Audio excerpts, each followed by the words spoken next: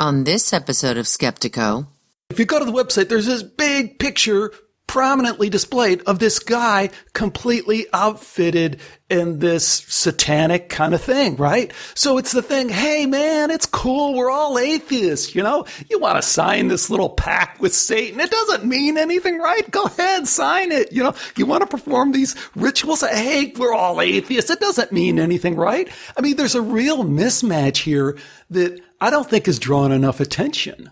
From the technocrat controller perspective, I mean, they're very aware of the fact that atheism and materialism and reductionism are not, they don't have the power to hold human belief for very long because they're not fulfilling, they're empty. And so humans are always going to be moving towards the transcendent. Now, from their vantage point, whether they acknowledge the belief in the transcendent, you know, whether they're just still rank atheists and materialists or agnostic or, or actual Luciferians or some form of occultist, you know, regardless, I think from their vantage point, pragmatically speaking, they view human psychology that way that humans are just going to be worshiping something. Stay with us for Skeptiko.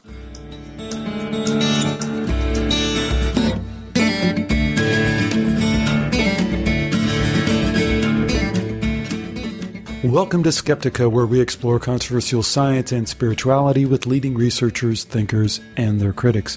I'm your host, Alex Tsakiris, and on this episode, an interesting exploration of film and culture and geopolitics and even religion from the very interesting Jay Dyer of Jay's Analysis.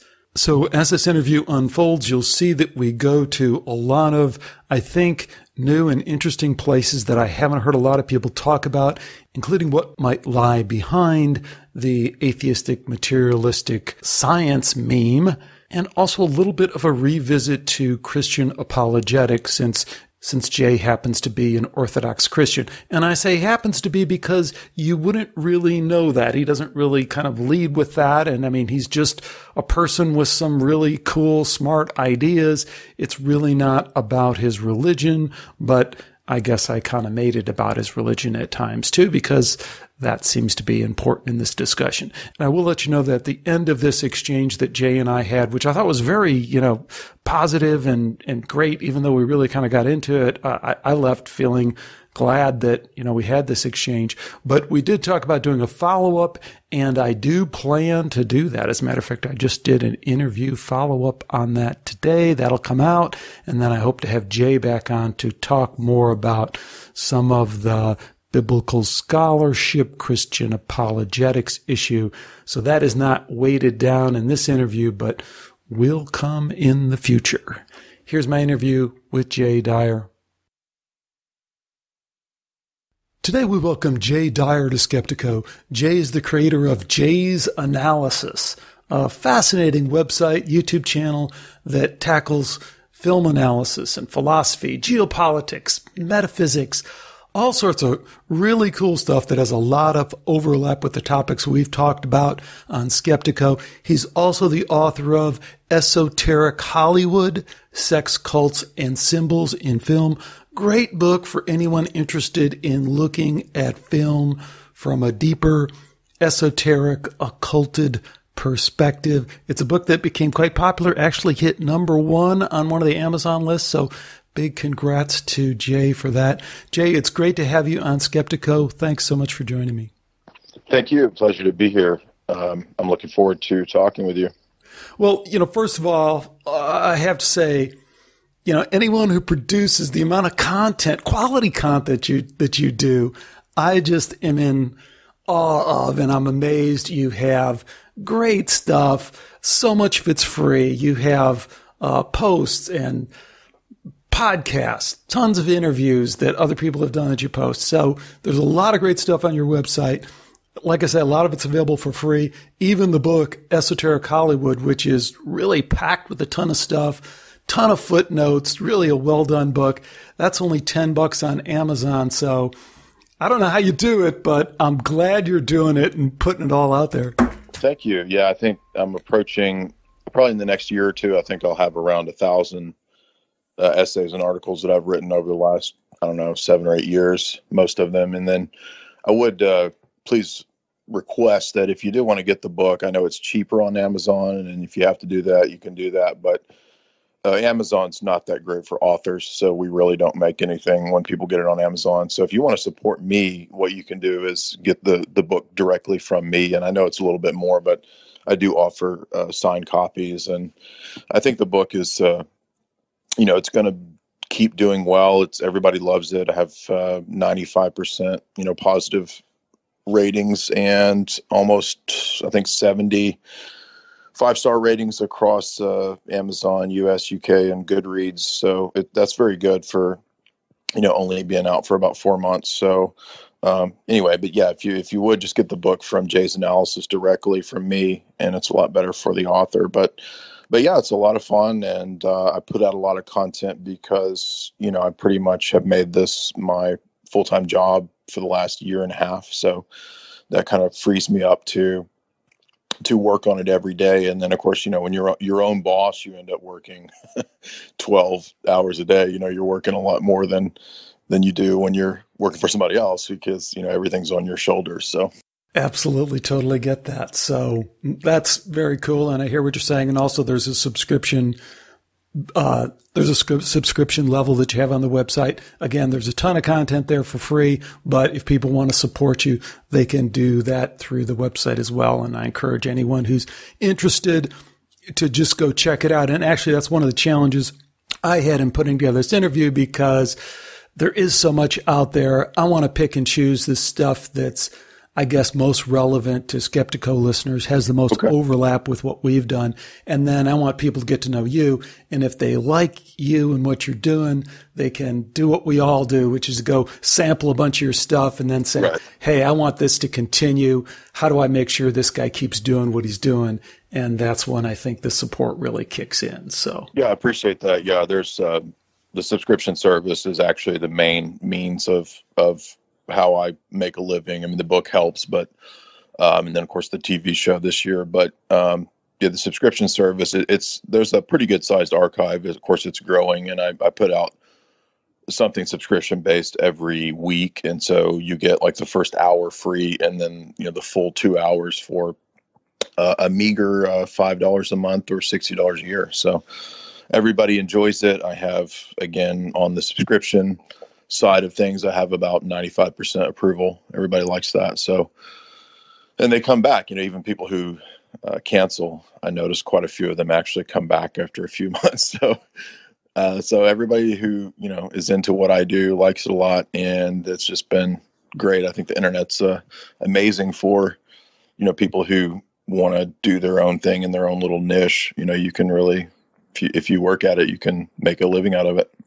That is amazing. And it's, it's important new way to kind of foster this long tail journalism and analysis and all that stuff. But hey, you know where I thought we might start off with in a great cross sec or intersection between a topic you've talked about and one that's near and dear to us here on Skeptiko is the idea of scientism, you know, and because from Richard Dawkins and the New Atheist to Charles Darwin. We could even start with the story, a great story I heard about how your editor even flinched at your treatment of Darwin in Esoteric Hollywood because he is this demigod, god among gods among science. And it's really when you deconstruct it, there's, well, there's a lot there to deconstruct. Just dive in anywhere you want. Yeah, well, in that, I, I love to. I, am a huge uh, critic of scientism. That makes up a big portion of what I deal with uh, throughout a lot of the essays. And the reason for that is that you know, I like the rest of us, I went through the school system and then the academic realm, and you know, you're you're just sort of beat over the head with this nonstop. You know, it's like from womb to grad school. You know, you've been told over and over and over that the scientific method is really the only way to uh, to approach the world. It's the most reliable uh, meaning or, or, source for meaning, and and that's where it sort of steps over its bounds because when we understand what the scientific method actually is, that it's simply a tool for investigating and hypothesizing and you know coming to conclusions about the natural world. Uh, that's really all it can do uh, by the nature of what it is. Uh, it's not a position statement. It's not materialism. It's not saying correct. you are a biological robot in a meaningless universe. It's just saying here's a tool set. It's a tool set, right? It would be like trying to, you know, make a screwdriver into some sort of symbol of deity. you know, it's uh, it's it's a tool. It can't it can't function that way. So uh, it doesn't have the ability to grant grand narratives, and that's what it's become in our day because it's really been something that has that that I think they realized a long time ago could be used uh, for social engineering and propaganda. And that's really what it functions as now. And um, give us some examples, some specific ways that you've seen how, in terms of how that's brought forward either in film or through these characters we see like Dawkins in the New Atheists or anything that's bubbles up to the top of your mind. Uh, well, I mean, the greatest example is uh, what just happened the last couple weeks where people uh, pulled up old clips of Bill Nye and his old show talking about how chromosomes, uh, you know, give you biological identity. You can't; it's kind of determined. You don't really get to choose that. You can't change your chromosomes. Uh, and then now he's done this new show, which is obviously just blatant, uh, you know, transgender propaganda, saying that gender is a spectrum and it's not determined by biology. So, so that's one of the the clearest examples I can think of that probably of all time that just happened within the last few weeks. Uh, junk DNA is another good example. You, there are people that put together clips of Richard Dawkins just completely contradicting himself, not just being in error about junk DNA, but actually lying about what he said because uh, there's clips from him, you know, 10 years ago saying junk DNA is, of course, one of the greatest evidences we have for the proof of evolution. And then now that there's uh, not, quote, junk DNA, he says the exact opposite and claims that he's always said that, right? the fact that we don't have junk DNA is one of the strongest proofs of evolution. I've always said this. Uh, and he's just flat out contradicts himself. So, uh, you know, these are guys who are put forward as pop scientists and you can even look into the character of Einstein and find a lot of discrepancies. He was very controversial at his time. There was a lot of accusations of plagiarism. Um, so what I'm getting at is just that these people are kind of put forward as uh, pop stars for uh, not the scientific method or or anything like that, but really scientism. And once you understand that it's a worldview, and a lot of, by the way, this is not like a theory that I've come up with. A lot of very well reasoned philosophers and philosophers of science, which is a whole other discipline um, that's that's very crucial, I think, to understand. Which I, I, did a lot of research into that in my grad school and undergrad days. Uh, they they've critiqued this for a long time, and so the irony here is that that scientism and naive empiricism are actually views that have been completely dissected for like dozens of times over for many many years uh, but it's almost kind of like a vampire. I think one of my professors said that it, it's like this uh, vampire that just keeps coming back. It doesn't die, no matter how many times you shoot it or you know dismember it. It just kind of like magically comes back to life, and you know people still fall for uh, something that is just just so easily deconstructed. I mean, you can very very easily show the incoherency and the inconsistency and the contradictions involved in bare, naive scientism.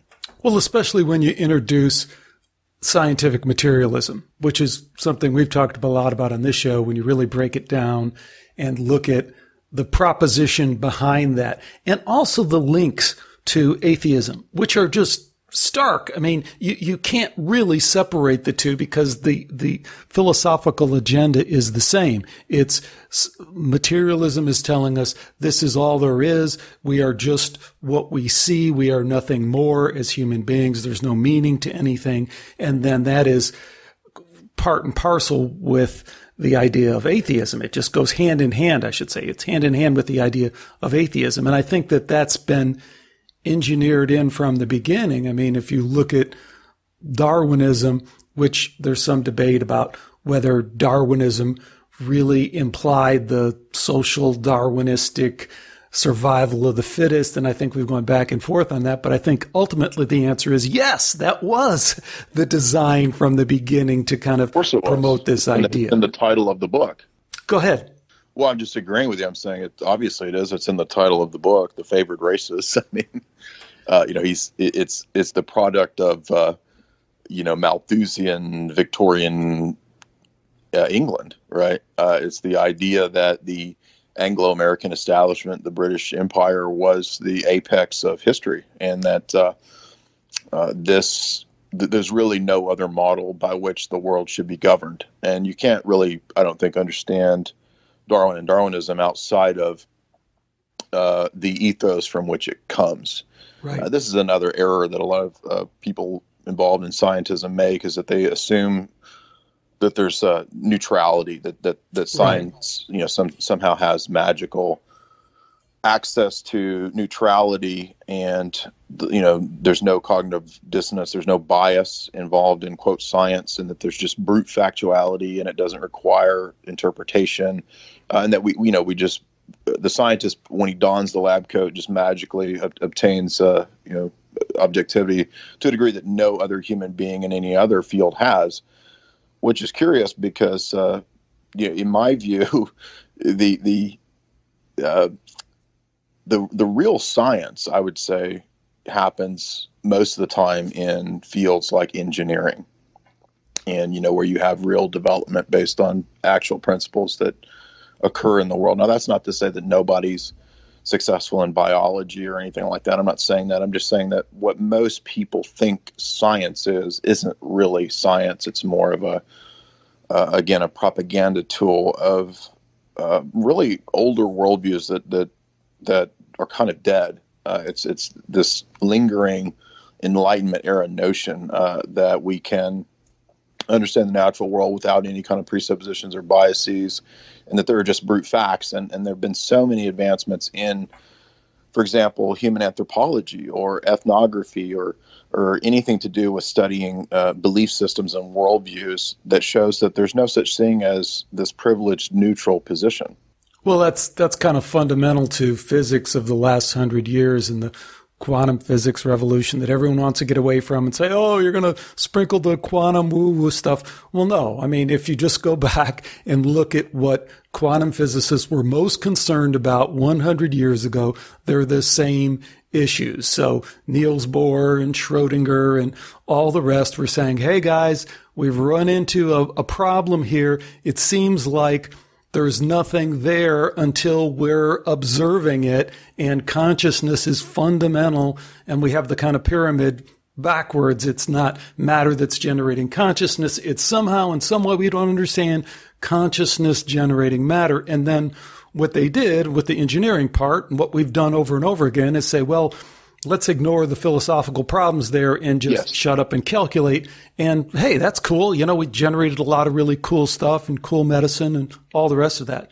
But if I could return one minute, one of the things I think is fascinating about the Charles Darwin thing is, you know, you can sit down and you can explain to anyone in less than a minute how the Darwinism breaks down because this survival of the fittest thing we all know that's not true.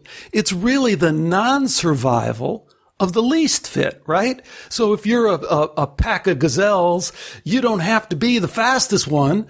Just don't be the slowest one. I mean, even if you accept Darwinism for what it is, that's all he was saying. And then the second thing he was saying is it's not about survival of the individual. It's about survival of the group. Because if you just survive as an individual, that doesn't do you much good. But if your pack survives, if your group survives, if you accept Darwinism, even basically what it is, you have to understand that it's the survival and perpetuation of that gene set of the group. So when you just look at that and anyone thinks about that and they go, well, yeah, that's pretty obvious.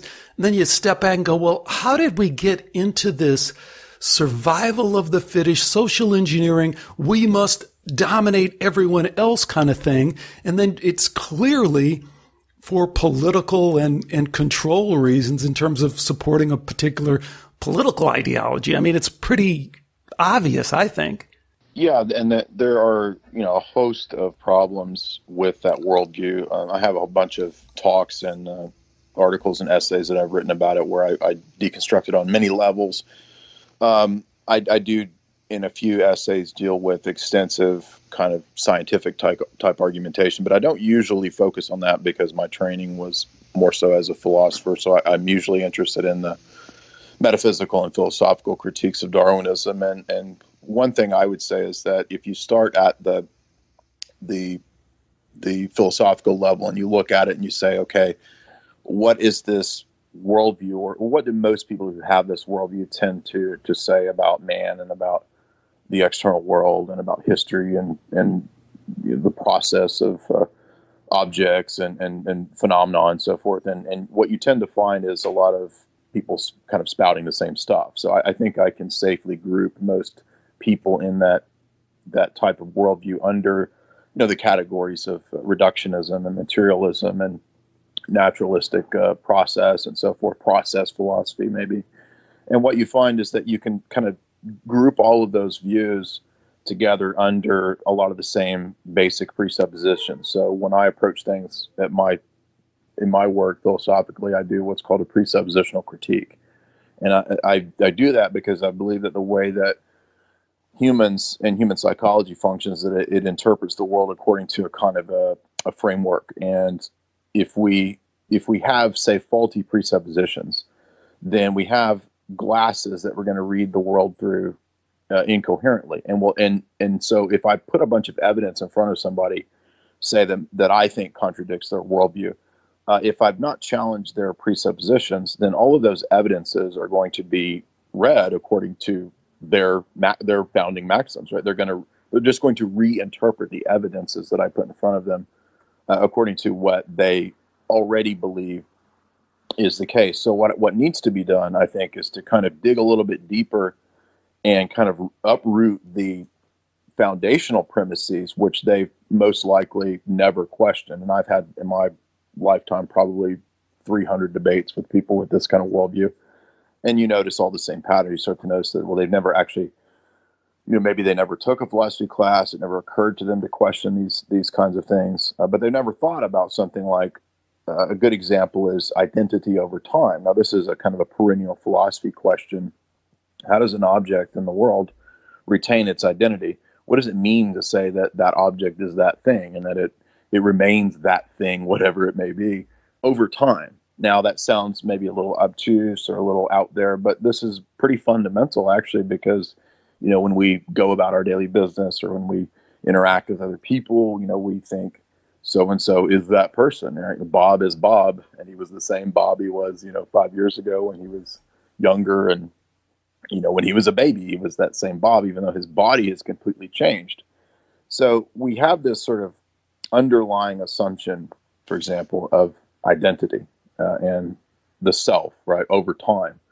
Now, none of that can actually be shown or demonstrated empirically. There's there's absolutely no way to to prove empirically that there was a, the same self uh, over time. For one, because you don't have access to the past, right? I mean, you you might have a video recording of something of the uh, you know the of Bob as a baby or something, but you don't have direct empirical access to Bob's self, right, or whoever he was as a person. I don't also have access to my own self, right? But when we interpret the world, when we do science, when we do anything, any kind of human activity, we're presuming the existence of a self. I mean, the fact that I'm you know engaging in this chat with you assumes that I have some sort of self or conscious identity. It assumes that you do, and that we can have meaningful, rational intercommunication, right? But at no point in this discussion or at no point in any sort of lab can you ever possibly demonstrate that there is a self, uh, nor can you demonstrate that any sort of object out there in the world uh, has identity over time. It's now, so some people would say, and some skeptics have said, such as David Hume and, and these different philosophers, they say, well, the, well, then that out with all that, right? We, we just can't know. We can never know that there's a self. We can never know that there are objects out in the world. And or take it one step further, right? I mean, Daniel Dennett, consciousness is an illusion. You know, I mean, just uh, in other words, what I'm saying is that the people who adopt those kind of presuppositions, like reductionism and materialism and that all reality is just perpetual flux and they don't really bite the bullet is what i'm trying to say like they like to kind of play a little game with themselves and with others well that where they'll right. they'll adopt that view and kind of argue with it and, and pretend like they believe that but in their daily life they believe that they exist you know neil degrasse tyson I'm sure uh, likes getting a paycheck for being Neil deGrasse Tyson, doesn't he? So I mean, that kind of assumes that he he's that person, right? right? So he doesn't actually act and live as if he believes all of these presuppositions that he's preaching every day. Uh, and so what I do is kind of dig down and I say, look, all of this is can be reduced to complete absurdity because uh, the the out, outworking of your view uh, when you attack things like God or the existence of anything immaterial or conceptual, and you say that none of that exists, well, that means that Neil deGrasse Tyson as a self doesn't exist. I mean, this is so this is just ultimately absurd, and it's a flat out contradiction. There's no way around it. Uh, and and I think that if we really pressed uh, Neil deGrasse Tyson or Bill Nye or any of these people, I don't think they would have any kind of answer because you know they say in interviews they say I don't care about philosophy. It doesn't matter. I mean, these are the kind of real questions that that I think are absolutely legitimate. What are you talking about if you're going to sit here? And by the way, these people they'll talk all the all day about you know phony liberal causes and and human rights and this kind of crap why would you talk about human rights if you don't even believe that there's a consciousness or a self? And so it's just a bunch of double talk and kind of word games.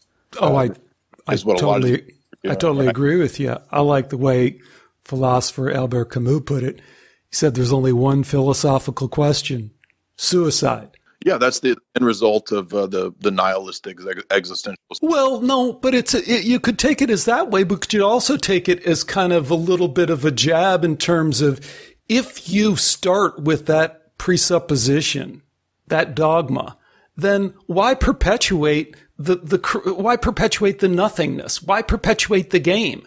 And I think that gets to your point of they don't really believe that when pressed. And that's why the consciousness is an illusion, uh, kind of meme is really fallen out of favor and people uh, talk about Dennett. You know, the the modern yep. people like Sam Harris and uh, and those people talk about Dennett and they go, well, we're not sure Dan is really serious about that. Like no one in their right mind could really be serious about that. And then they kind of try and get into panpsychism or this emergent quality of consciousness, which is really just kind of some, trying to find some wiggle room to the idea that there, that consciousness is fundamental, which we can get there. But, you know, this is your turf and philosophy we could talk about all day. But if I can, let me shift the focus a little bit because one of the links that I think is really interesting, and you cover many, many ways, and it's hard to pin down where exactly you've kind of honed in on this,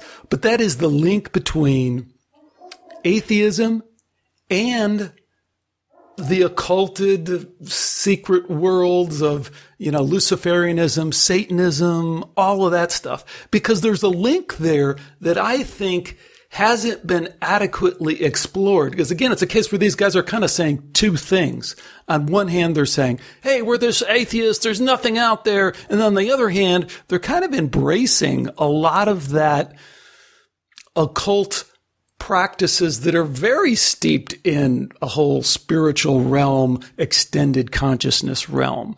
Do you have any thoughts on that, Jay? I do, absolutely. I, have I've been meaning eventually to get to this, but I just haven't had really the time to approach it properly and do it justice. And and that is is precisely what you're getting at. That I don't really think uh, the new atheists and, and atheism in this in this last few decades has really been popularized I don't think that is intended to be the final destination. I, I, think it's a halfway house that's kind of been put out there to lead people down a Pied Piper's path, basically. Uh, and I, I see that as a kind of alchemical progression. So if you read the works of, say, Michael Hoffman, he'll talk about uh, how the alchemical process involves taking a thing and then kind of breaking it down, disintegrating it, um, calcifying it and so forth, and then then you recreate it into a new form, transmutation basically. And I think that uh, the the phase or fad of atheism comes at the late stage of societal breakdown and religious breakdown, philosophical breakdown. And I don't believe that these breakdowns are natural or or or are or are organic. I think that they're for the most part kind of imposed from a top down uh, oligarchic social engineering type uh, perspective, technocratic perspective, basically. And so what, what I think had to happen was is that they, they had to gradually sort of break down traditional notions of uh, of family and morals. And you, you get Bertrand Russell and H.G. Wells actually talking about this. They talk about how they would have to sort of break down man, stamp him out. Uh, you know, Bertrand Russell talks about stamping out free will, stamping out man's spirit.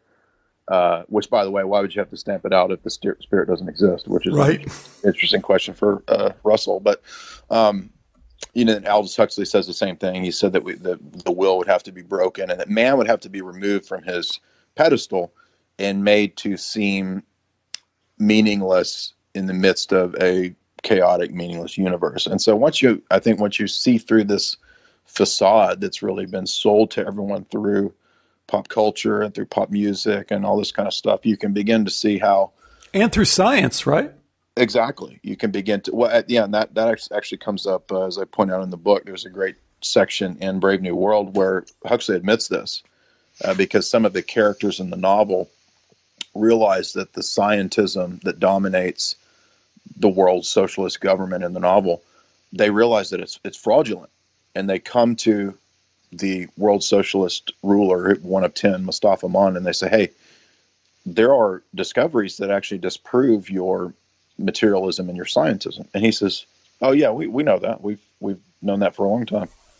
And they're like, Why why are you suppressing this? And he's like, Well, because it's that's what has to be. You know, the people are never going to accept this. They're never going to.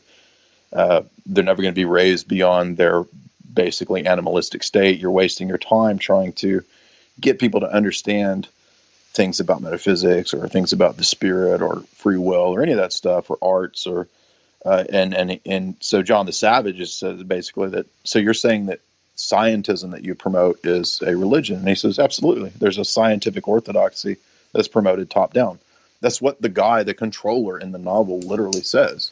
So here's one of the most formative uh, thinkers, brains, I guess you could say, of the 20th century. You know, intimately connected to the Royal Society, to the creation of the UN and UNESCO. Uh, and he's basically saying what I'm saying. He's saying that it's a fraud. Scientism is, is a fraud, but it can be promoted as the new religion. And that's why in the novel, uh, you have this sort of Auguste Comte style fake religion that's created a, a, civic religion based around scientism. So, I mean, everything is in Brave New World, by the way, if you want to just see the whole uh, plan laid out, uh, that's where they're going. And, and, and science is the religion in the novel, not science strictly speaking, truly speaking, but scientism. And, and, Jay, you're really saying a couple of things there that I want to pick up on because you're saying, yeah, scientism and science and materialism is religion. We get that. But the other thing you're saying, and you're open to at least, is this idea that it's really a way station to something different, to Luciferianism, Satanism, occultism. And, you know, let me just tell you a little story that I ran across. Uh, there's this guy, Dr. Richard Wiseman extremely popular British psychologist. At some point, he had some phony baloney title of, you know, the guy, the point person for psychology education for the UK or something like that. He's been on the show a couple times. He's an outspoken skeptic. So he's in the face of all these people who are interested in parapsychology or near death experience or anything in this extended consciousness realm. And he's, he's also uh, an outspoken atheist, of course. But here's the twist. Here's what I found when I looked into this guy, and I think it, it hits exactly on your point. He's also one of the founders of the Edinburgh Society. And if you go to the to the website, I want to read this for you because it's so telling. We stage events for those of curious disposition. Our past evenings have involved the performance of magic, optical illusions, experiments into fear, investigations into death, attempts to contact spirits, and summoning the devil. So here it is. And if you go to the website, there's this big picture prominently displayed of this guy completely outfitted in this satanic kind of thing, right? So it's the thing, hey man, it's cool. We're all atheists, you know? You want to sign this little pact with Satan. It doesn't mean anything, right? Go ahead, sign it. You know, you want to perform these rituals. Hey, we're all atheists. It doesn't mean anything, right? I mean, there's a real mismatch here that I don't think is drawing enough attention. Yeah, I'm, I'm not familiar with the person that you're talking about, but uh, that is a, a, trend, and that, that's kind of what I'm getting at is that um, you you uh, from the technocrat controller perspective, I mean, they're very aware of the fact that atheism and materialism and reductionism are not, they don't have the power to hold human belief for very long because they're not fulfilling, they're empty. And so humans are always going to be moving towards the transcendent. Now, from their vantage point, whether they acknowledge the belief in the transcendent, you know, whether they're just still rank atheists and materialists or agnostic or, or actual Luciferians or some form of occultist, you know, regardless, I think from their vantage point, pragmatically speaking, they view human psychology that way that humans are just going to be worshiping something. And so you get amongst amongst a lot of them that kind of Auguste Comtean type perspective where they I think they generally think that they can uh, erect and concoct a new religion for the future. Uh, now this is of course what you know, the UN's been involved in with a lot of the ecumenical projects over the last hundred years, back to the first one in like 1893 or four in Chicago. That kind of kicked off the ecumenical movement, and then you understand that when you look into who funded that and who was behind all that, that it's you know it's these big families, it's the Rockefellers, et cetera. Uh, you know, who, who, had a big stake in the UN UNESCO, and and that's why you see that push for this sort of uh, creation of a new global religion. And what I'm getting at is just that the popularization of atheism is really just one of those phases or stages uh, on the process towards that. And you actually have Masonic authors kind of writing about this at times, kind of giving away a little bit of the game and saying, you know, we we can actually kind of maybe wreck uh, Christian religion and, and Islamic religion, and, and then on the the long haul, we can get everybody towards a technocracy where you have this kind of uh, a Luciferian approach. And so, my, in my view, I think they probably are testing out different possibilities. I, th- I, don't think that the alien mythology has really gone as well as maybe they thought it would, but uh, I, have looked into a lot of really solid academic approaches to the UFO phenomenon, and you'll find Brookings Institute papers from a few decades ago that will actually say that the UFO phenomenon was intended to basically break down traditional Western theology. Now they mention basically all the religions, Islam, uh, Judaism, Christianity, but they really see Christianity as the one that they, you know, I guess because it's the most prominent, you know, in, in the West, in Western civilization, as the one that really needed to be break broken down. Uh, and so, you know, b- back in the 60s and 70s, you know, Brookings Institute was saying that uh, maybe, uh, you know, maybe the UFO phenomenon could do that. Uh, now, I don't know that it's been that successful, but uh, you know, there's other possibilities of what could be done. They could, they might try to. And we don't know, to be fair, whether that's a co-opting of a real phenomenon or if it's a completely manufactured phenomenon. And there's just a rat's nest of stuff to pull apart there. Right, right. I'm not trying to say that I know everything about the UFO phenomenon. I mean, I think there are anomalies in, in you know stellar phenomena that we don't explain or we, we can't explain or don't know about or yeah, I'm not trying. I'm just saying what that paper says that they might try to do. Um, uh, and I can give you the book if you want to reference that. The book is uh, "The Lure of the Edge" by Denzler. The scientific passions of religious belief and the pursuit of UFOs. Um, and she's kind of an academic, just looking at this phenomenon. And she, again, the reason I bring that book up is just that she notes many times in there how uh, useful this is for religions. And so I think that you can look at the CIA's involvement in uh, UFO cults. Again, that has been pretty pretty well documented for many years now. I don't think there's a lot of dispute over that, but uh, I think that you can probably surmise. And again, I haven't taken the time to dig into this, but uh, if I if I recall, there is some connection to uh, funding for skeptical movements. Uh, oh yeah, oh definitely. And I think I think these entities have a lot of, um, you know, probably foundation money and that kind of stuff. So, so they're not actually skeptics. And I think that one of uh, one of my friends accurately stated it that they're pathological skeptics. And so the irony here is that those worldviews are actually preset and pre-programmed to again interpret the data according to the quote skeptic worldview. so well, well and, and that's one manifestation of it. The other is that it's pure psyop. I mean, just step back. Yes. They're status quo supporters up and down, you know? So you get to something like climate change, if you will, where you say, okay, well, let's look at the skeptical perspective. And no, now all of a sudden the skeptical perspective switches over to the other side because what it's really about is promoting, defending the status quo. It's the dog on a chain. You know, it's the barking dog that they can put out there. And what I've found through, you know, kind of the investigation of parapsychology, psi, and consciousness is that what scientists do is they hide behind that, right? So they can be the barking dog out front, and then scientists can kind of come in and say, well, you know, we're trying to be reasonable about this, all the rest. And meanwhile, you have the barking dog out there that you can't get past. But I think that's past. I mean, I think the skeptical thing, if you will, is over. And I think people are on to the pseudo skeptical reality that, that's really there. I, I hope so. Uh, I've had a couple of these skeptics try to write big pieces about me, uh, which where they're completely dishonest in uh, attributing all kinds of things to me that I don't.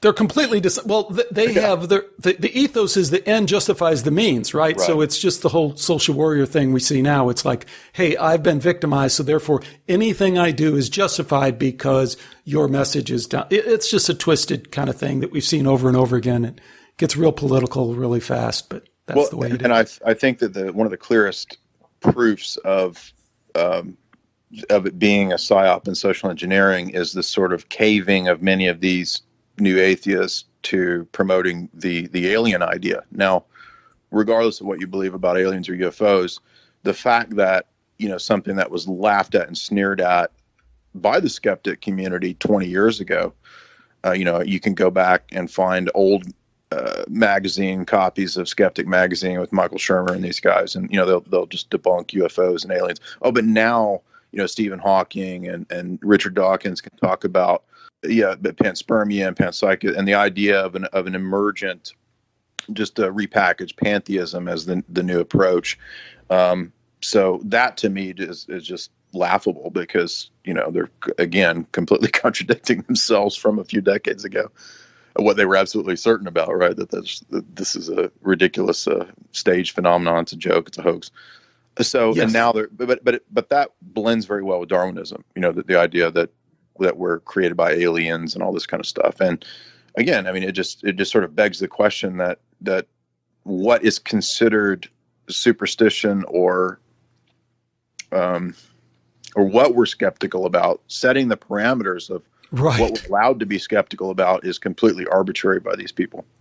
Well said, setting the parameters. So let, us move on to another topic. And I appreciate that these are maybe not totally down what you cover a lot, but I think again, if people check out, no, Jay's this is great. Work, I'm I'm so tired of doing you know, the, the, same interviews over and over. So I, well, good, but but I want to encourage people to check out Jay's work. I mean, like the geopolitical stuff fascinating. I just ran, I just stumbled across really the whole thing that you did recently on North Korea and the fake photographs. And I know it gets conspiratorial to some people and a lot of skeptical listeners. As soon as it sounds conspiratorial, they're like, I'm out of here. You know, I can't deal with it, which it, I don't want to say it's okay because it's really not okay, but it, I get that that's where people are coming from. But like that stuff was just brilliant and it's completely off topic with anything we're going to talk about today, as is a lot of the movie analysis you do. I mean, just about any movie someone can think of that has this meaningful connection to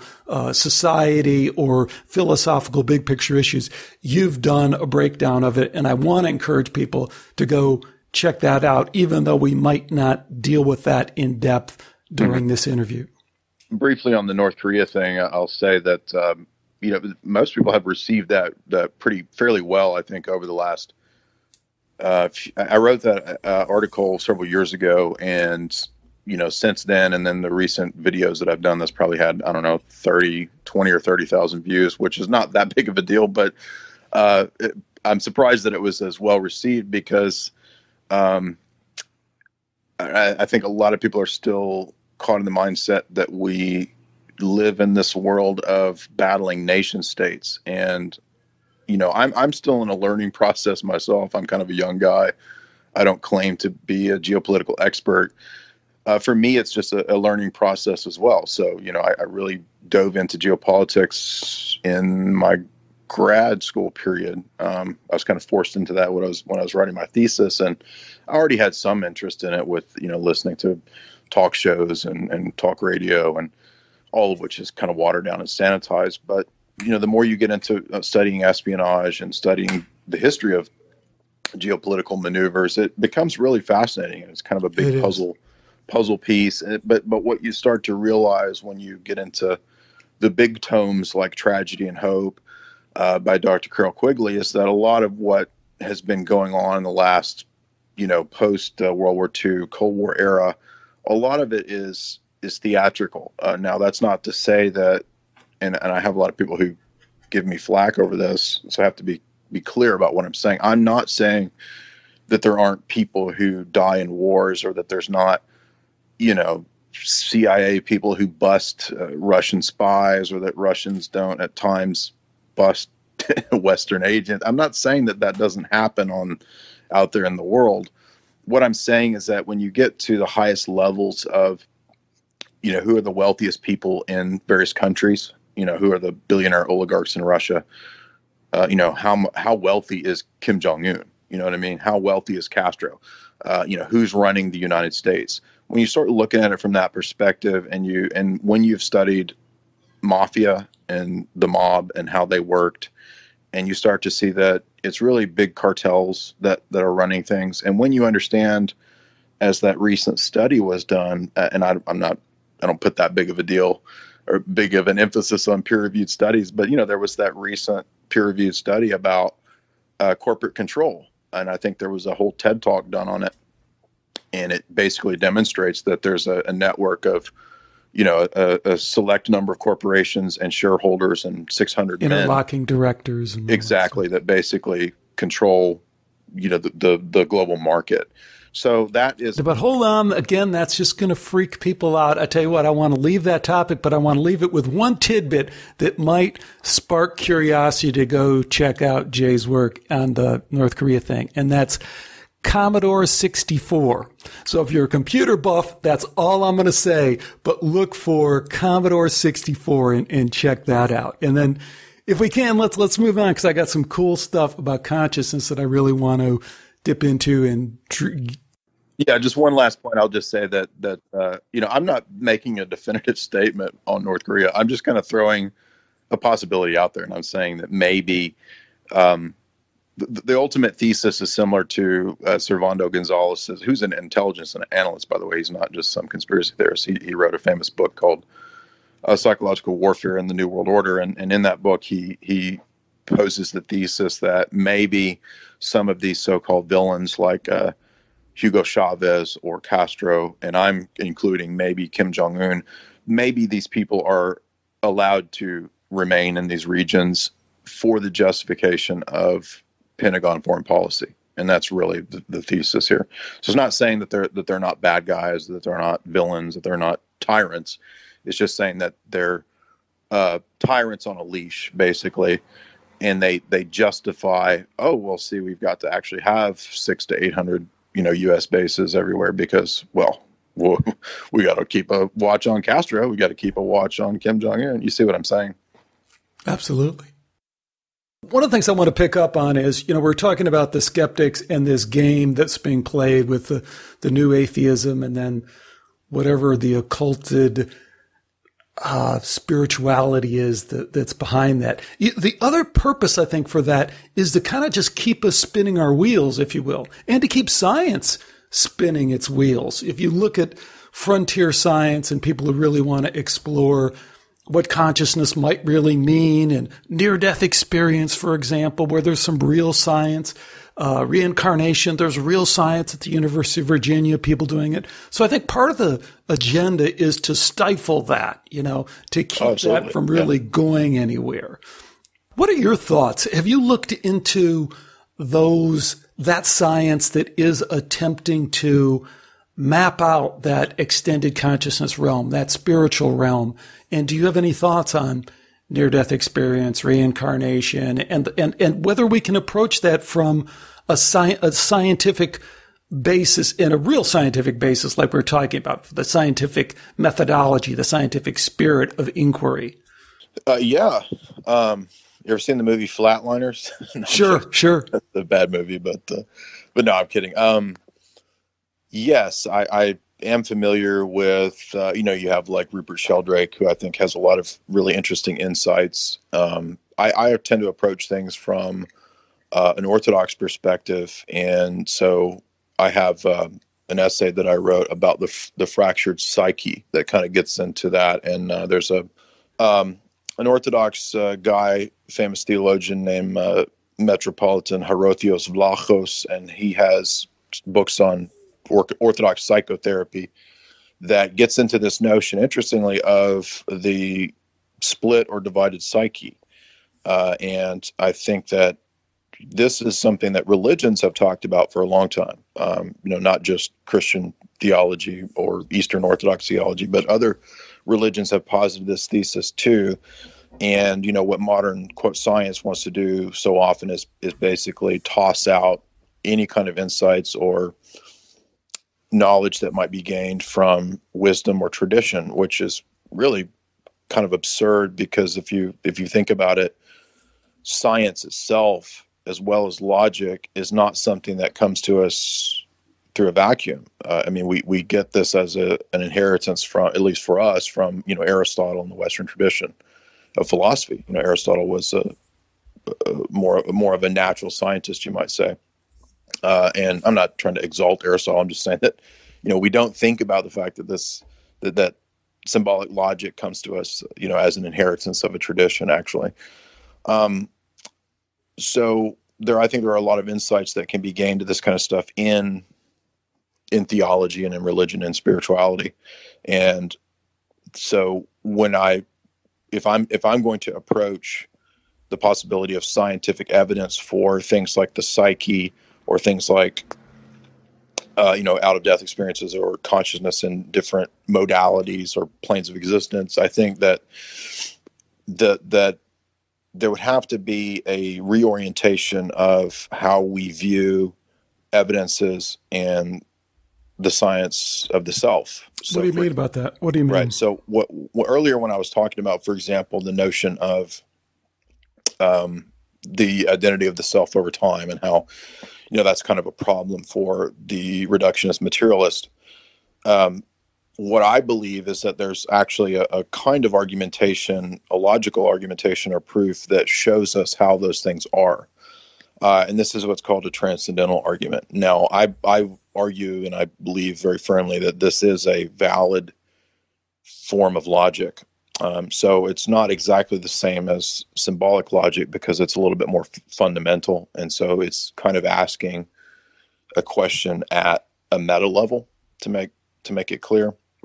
So, for example, a meta level question would be, and this is actually this actually happens in mathematics and philosophy. This is not just me making this up. So, like, if we were to ask the question, um, how does logic work? Right. I mean, we use logic, but then if we step back a little bit from maybe a God's eye perspective and say, well, how does logic itself function? That would be a meta logical question uh, and this comes up in things like math theory as well. So these kinds of questions have been dealt with and they've been asked by philosophers, and this is where it kind of bridges over into theology or or more transcendental questions. And so, since there there's not really a test tube or microscope type of proof for something like a law of logic or something like a mathematical principle or something like the self or the soul. What we end up finding is that all of those things kind of kind of get stuck in this category of the immaterial or the spiritual or the conceptual or the ideal uh, or whatever kind of terms you want to use to describe it that by the nature of what they are they can't be demonstrated or proven empirically so we might think, well, then we're in a quandary. We can never prove those things. We can never know those things. And a lot of people have gone down that route. I don't think so. I think that if you look, for example, at the way Aristotle responded to the sophists when they, they asked him this question, they said, well, how can you prove the law of non contradiction as true? In other words, if what if I come along and I say, as a skeptic, Aristotle, well, I just don't accept your law of non contradiction. I think that it's a fraud Aristotle responds by saying, Well, I can prove to you that even in the process of your denying the law of non contradiction, you're still assuming it. So you're still using logic and rules and laws uh, about reasoning in the process of denying laws about logic and reasoning. So you're already involved in a contradiction. And so, in other words, he says this is a transcendental category. It's a it's a something that's a precondition for uh, logic, precondition for argumentation. Period. And so, just because it's not demonstrated in the same way that other things are demonstrated, doesn't mean that it's not true or provable or certain. And so, in the same way, things like God uh, or things like the self are transcendental preconditions for experience. Uh, now, somebody might say, "Oh, well, you're just using Kant." No, actually, again, this goes back pre-Kantian. It's not Kant. Kant took these kind of ideas and then kind of turned that into a thing where he said, "Oh, uh, you know, the mind is the transcendental category that that orders everything, and, and everything is really just a manifestation of our mind." I don't believe that. I believe there's a there's a common uh, you know objective external world that we all experience. It's not just my mind that's creating all this reality. It's not solipsism. In other words kantianism you know devolves back into solipsism. So anyway this is a long answer to your question and that is just simply to say that i think that what would ha- what would have to happen is a reorienting of the way that we think about the self and logic and immaterial and conceptual entities and understanding that they're they're they are actually more fundamental than our empirical quote material experience in, of, of life. I don't think i'm not saying that material phenomena don't exist but i'm saying that i believe that uh, reality is not atomism it's not materialism. Um, it's it, most of what we experience is basically energy that's just sort of in different forms. Uh, it's not I mean, we're just so entrained to think of the world as matter. Uh, and this is really, again, part of that Newtonian propaganda and the, the promotion of Newtonian atomism, which is, again, a, a worldview. It's a presupposition. Uh, and until you question Newtonian presuppositions, you don't really think outside of these paradigms. And so I don't think anybody's going to have a whole lot of success with demonstrating those kinds of things until they reorient and start thinking in a transcendental slash presuppositional approach to things. Now, there has been there have been philosophers and mathematicians who've already been doing this. Uh, you have Roger Penrose kind of speaking this way. You have Kurt Gödel speaking this way with his incompleteness theorems. Uh, Husserl at times kind of speaks this way, although he's kind of, uh, I would argue, kind of inconsistent on how he approaches it. But you have people who are and have been kind of thinking in this this way. Uh, but it's just kind of so foreign to people, and it's it seems a little obtuse that um, I don't know that it's just one of the things that I try to to get across to people. And if I can ever get people to to view it that way, I think you would you would kind of see a Copernican revolution, so to speak, in the way that we approach uh, epistemology and knowing things. Well, I'll throw another name on the pile there that kind of, I think, would find a lot of agreement with you. And it's a guy named Dr. Raymond Moody, who's pretty much established as being the person who coined the term near death experience and wrote the famous book back in the 70s. Interesting guy. He's not only in medical MD, but he also has a PhD in philosophy. So he's be akin to you and very, very well schooled in Greek philosophy as well and speaks Greek and reads ancient Greek. And he said for a long time, I've interviewed a couple times, he, he said he, he's kind of an interesting guy. He kind of talks in riddles sometimes, but he says it's, it's nonsensical and that we require, it requires a different system of logic to understand yes. the near death experience might even be. And he calls it pre-scientific. At the same time, within the existing paradigm that we have, there's been a tremendous amount of, I think, important information about uh, this near death experience that one completely undermines the materialistic understanding of consciousness because as soon as we understand that consciousness in some way that we don't understand survives bodily death, we are completely blowing away the existing paradigm.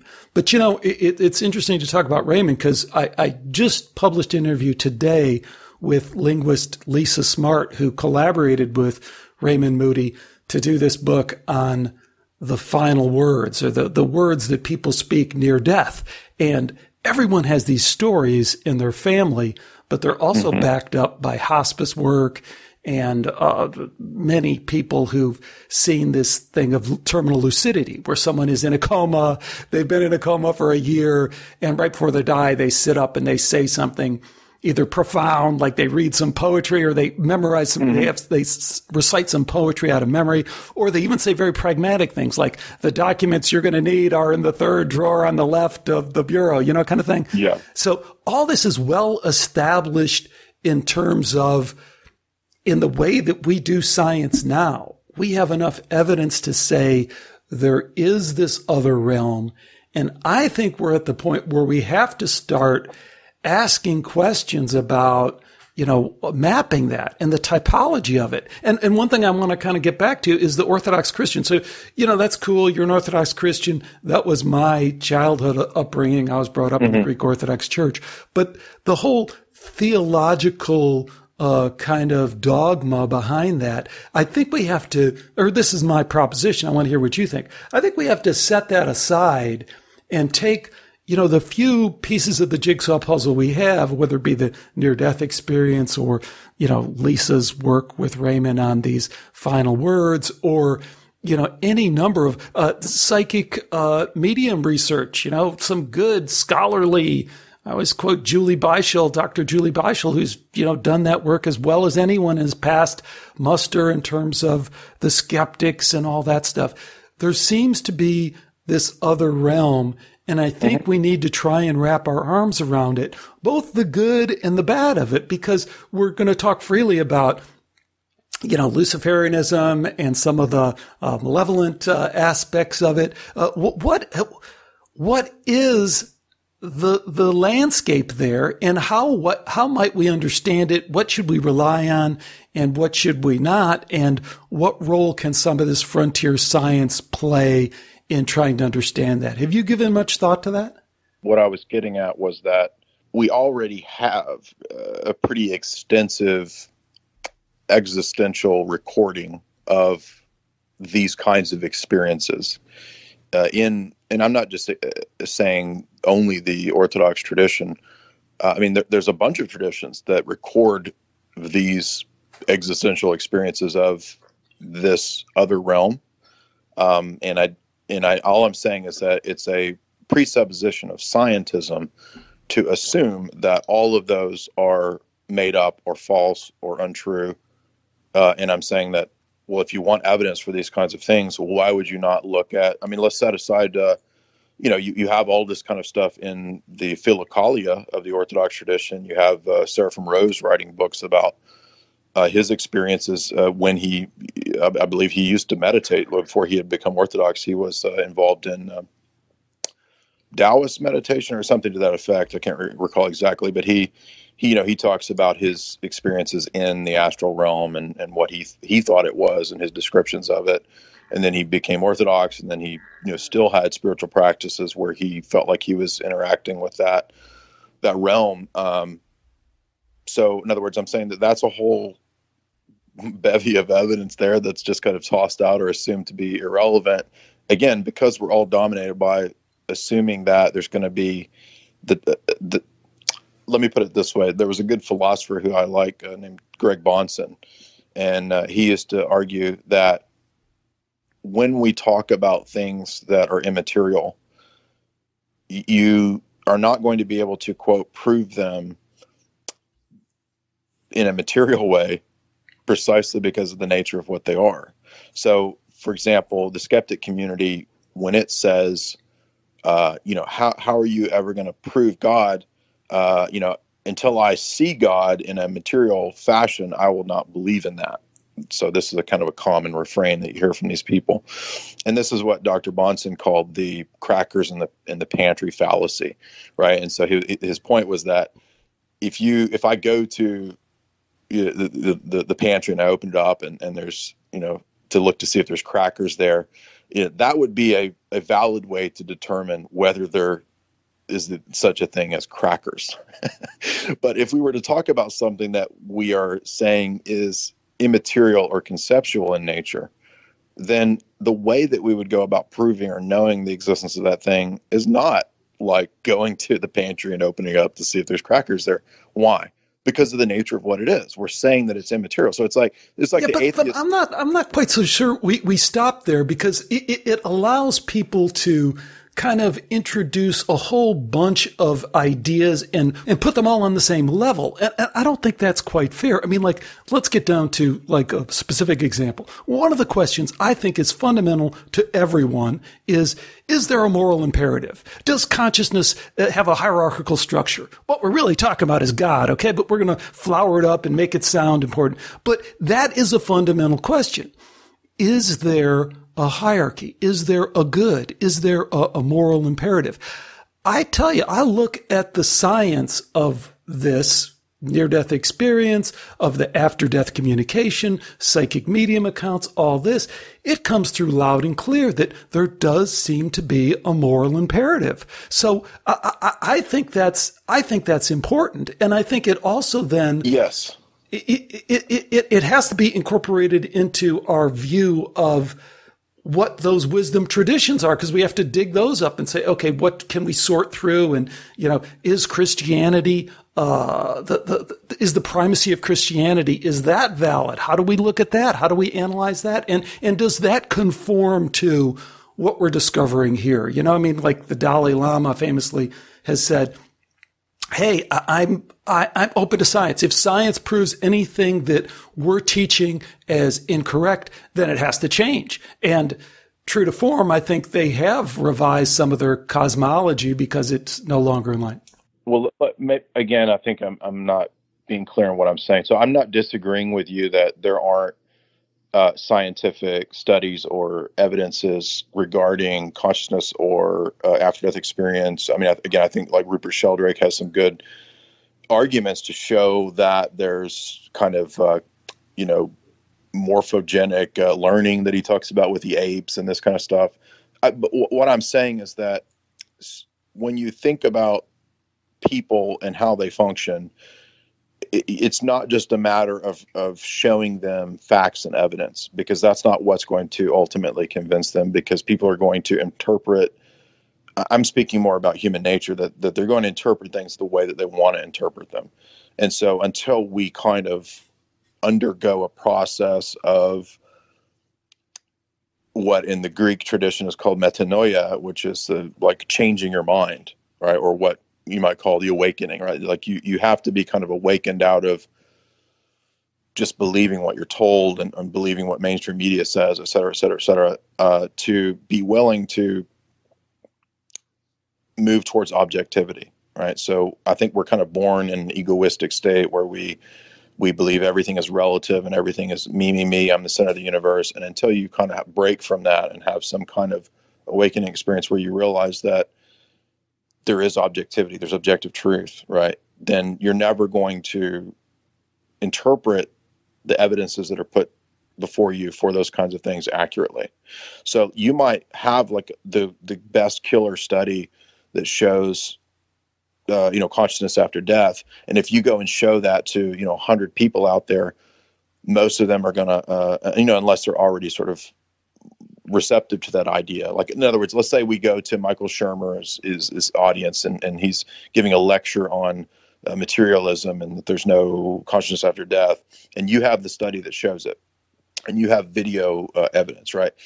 Everybody, most of the people in his audience are preconditioned; they have a presupposition to discount that. They're going to reinterpret what you're presenting in some other way. And so all I'm saying is that there has to be a, a, a even larger cultural shift in terms of how we understand who we are and what logic is and what constitutes a proof, uh, which I think is a long time coming, uh, before there's really going to be any kind of like sea change, like a big sway. And, sure. But that might be true on a societal, cultural level. But on the personal level, I think we know and see from the popularity of books and and and and the popularity of some of these memes, if you will. I hate that term, mm-hmm. but we're stuck with it. That people can undergo personal spiritual transformations, can sure. undergo personal just logical transformations yes. by looking at some of this evidence, some of this data. So, you know, what about that? Are, how does that inform your your view and in particular your your orthodox christian view because you know what if that doesn't conform with some of the dogma and doctrine of of your religion? What do you do with that? Well that's a, a difficult question. I mean i think that most of us i think we all have a worldview and we all have a, a we all have presuppositions paradigms by which we interpret the world. And so again i think that um, my view is that we we we're constituted as humans just to kind of operate that way. So even if we don't think we have a philosophy or a worldview, we do. Uh, and so you kind of have to, I think, gr- lay the groundwork first uh, and re reorient yourself, go through that process of metanoia, changing the mind and and and kind of spiritual transformation to where you're in a place that you can begin to interpret the world correctly. Uh, and and I mean, I'm not trying to be arrogant, like, oh, I have it all figured out. I'm not saying that. I'm just saying that that's that's the approach that I take. So if you're asking me, uh, is there scientific evidence that's going to come along that will like be be earth shattering to my perspective i don't think so because i've you know i've i've been at this for a good while i've you know i'm i'm 20 years now of of researching this kind of stuff. Started when I was 18 or so.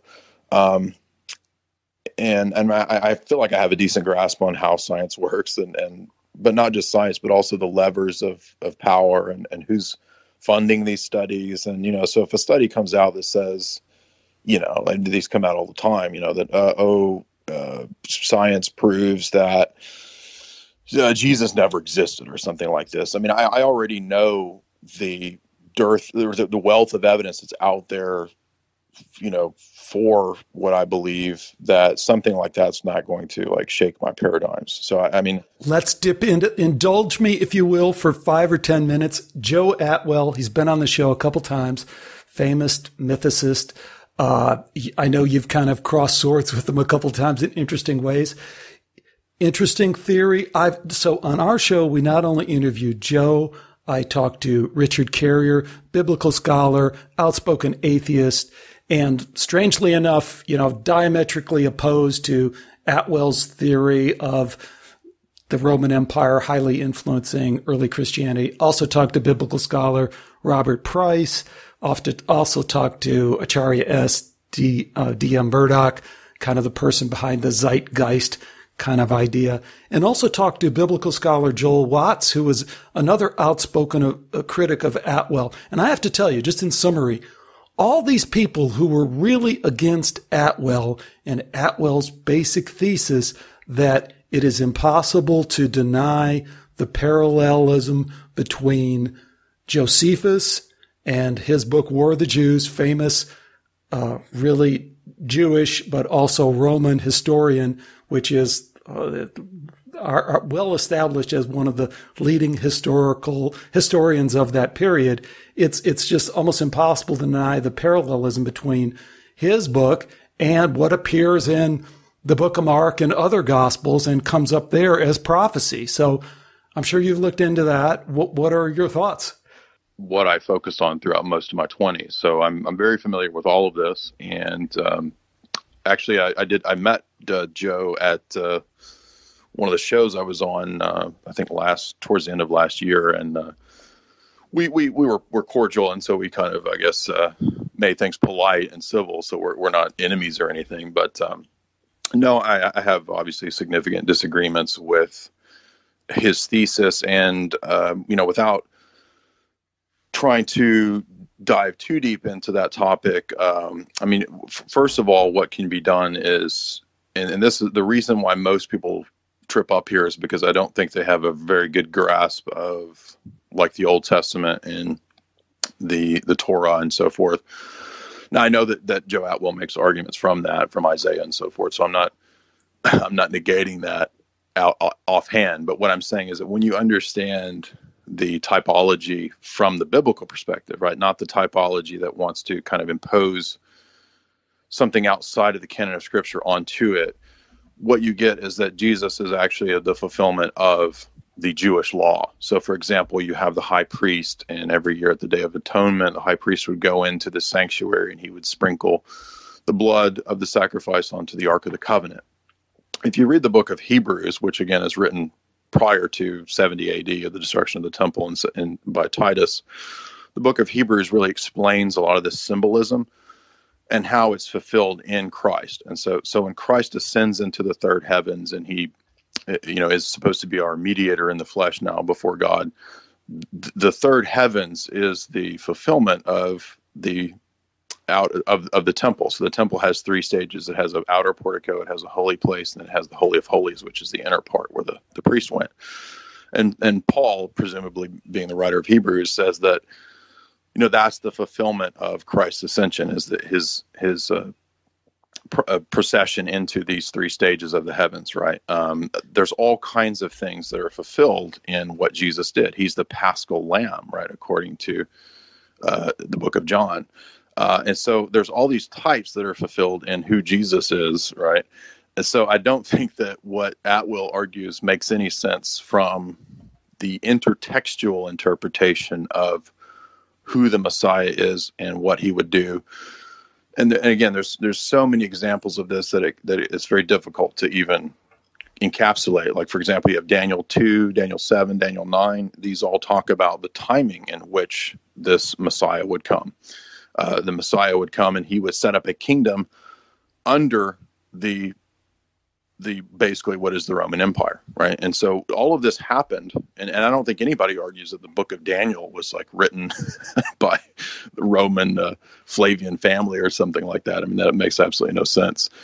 So what I'm getting at is just that that you have all those arguments, and then so when we when we want to read Josephus, and I've read Wars of the Jews, I know I wrote uh, papers in undergrad about uh, interpreting Matthew 24 and Luke 21 in light of what Josephus is talking about. Um, I I don't I don't really understand how anyone makes this a Roman thing because it's perfectly in line with what was described in the Gospels, which I think were written pre 70 AD, about the destruction of the temple. So the destruction of the temple is the culmination of the Old Testament era. It's exactly what Hebrews says. It says that the the end of those sacrifices comes with the establishment of the church, the Orthodox Church. Now you say, well, how? Wait a minute. How do we know that it would be the Orthodox Church? Well, there are. I've got a 40, 38 volume set of the Church Fathers for the first 700 years, and there's a whole bevy of them from Justin Martyr to Trypho, or excuse me, Justin Martyr's debate with Trypho to uh, Irenaeus to Tertullian to Cyprian.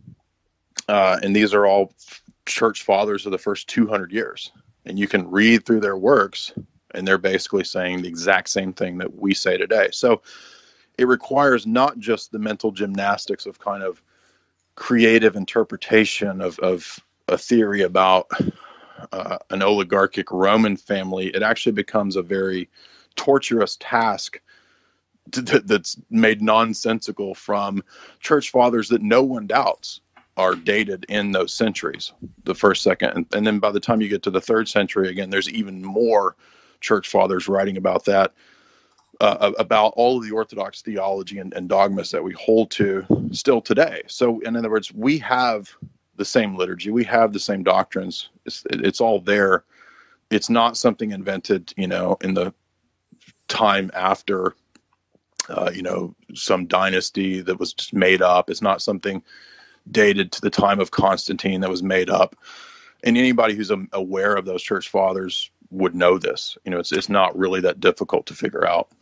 I don't know. Like I say, we investigated this pretty thoroughly, and I took on the critics of Atwill uh, right down the line. And so I told you, you know, Richard Carrier, Robert Price, but also Christian critics like biblical scholar Joel Watts, who's an impressive, impressive guy. And well, you, actually, you can count me in that. okay. So, I mean, have you have you read Irenaeus? Have you read Against Heresies? I, I have not. Okay. Have you read uh, any of Cyprian? Not like in depth, but I'll tell you the part that I find compelling. And and one is that all of these folks agree at, at the end of the day that while Atwill has taken things kind of absurdly far in terms of the grand conspiracy that was the Roman creation of the entire Christian tradition, that his point is pretty undeniable in terms of two things. One is that most Christians don't understand who Josephus was. I mean, Josephus was a Jewish general who was co-opted by the Romans when they landed in Galilee. And he said, okay, I'll join up with you guys rather than face annihilation, face death as many of his men did. And then his account in the War of the Jews is backed up by archaeological evidence, right? So we can go back and say, gee, when he says the walls were this thick and we dig it up and there they are.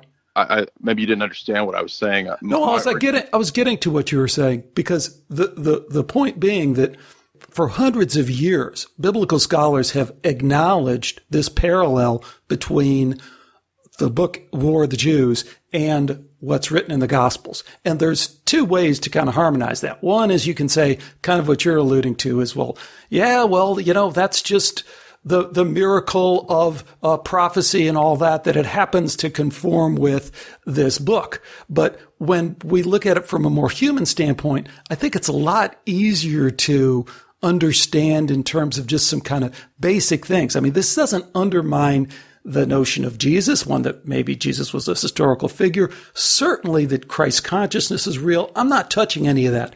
I'm just focusing on this small part of the, the idea that the, the, the Bible needs to be understood the way that it's always been presented to us, I think is undermined by what Atwill has shown in terms of the parallels between Josephus's work and what's in the gospel. And there's just a cadre of, of biblical scholars that agree there's something going on there. You can go back to St. John Chrysostom uh, in the the 400s talking about Josephus's parallels to to Jesus. So this is not a new idea. This is not something that uh, right this is called preterism, and there have been theologians who've been writing about preterism for 1,500 years um, or more. So th- this is not a new idea. People have been well aware of uh, Josephus's commentary on what happened in 70 AD. Uh, now, I understand what you're saying. I understand that, well, maybe we need to set aside the supernatural uh, idea and, and look at the possibility that this was a concocted um, mythology that was not really just just so you understand me i'm not saying all of that because I, am saying what, what seems to emerge is that it's this very human collection that maybe there is a very supernatural part of it a, a divine part of it but then there's also a very understood from a psyop control standpoint as well. That's what i'm saying that both have to be it's an and or not an either or I know, but I'm saying that just even like a, a basic knowledge of how the, the biblical canon came to be from scholars across traditions that are not that don't have an agenda. So you can look at Protestant scholars even that talk about how the canon came into formation, like F. F. Bruce, renowned New Testament scholar for decades.